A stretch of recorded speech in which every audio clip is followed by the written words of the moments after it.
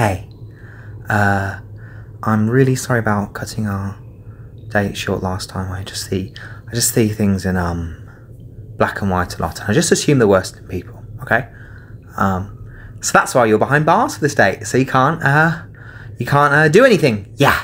Okay. Um, but yeah, isn't your uh jail cell so pretty? Yeah.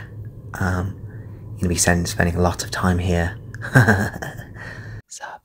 vibe. Yeah.